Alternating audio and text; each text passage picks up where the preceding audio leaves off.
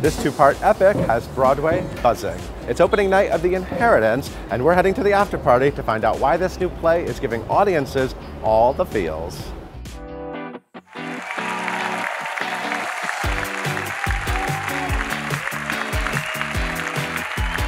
feels like something like a once in a lifetime experience. It feels like I, am just overwhelmed with gratitude to be a part of this story, living in New York, where it's supposed to be.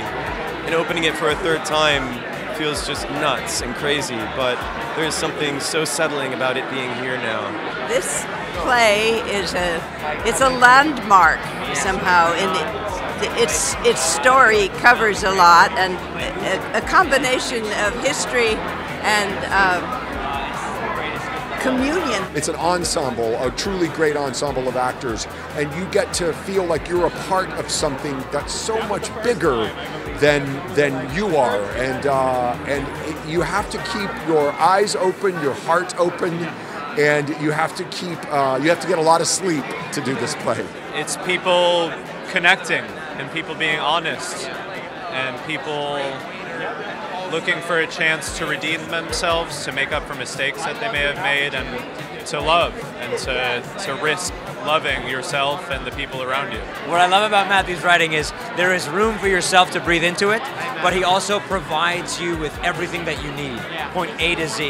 If you need bumpers to get from this moment to that moment, he provides them for you in specific words. He also just has a hell of an ear for comedy, for charm, for life uh, and also for the words that move you to the core. It's really wonderful to, to be in an audience of people who have walked the streets of the play, who know people like like the characters in the play.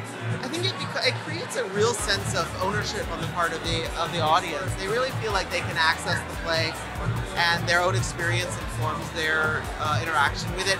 My favorite part about sharing this play with people is that in some small way they forget that it's mine and they, they believe that it's theirs. I think the world is in such a uh, problematic place at the moment, and uh, we're going through such difficult times. And connection is everything. Forster, of course, is, in my mind, is the symbol of that. And to be telling a story about how to reach across our differences at a time when the world seems to be spiraling, it's the, it's the only way to kind of change things.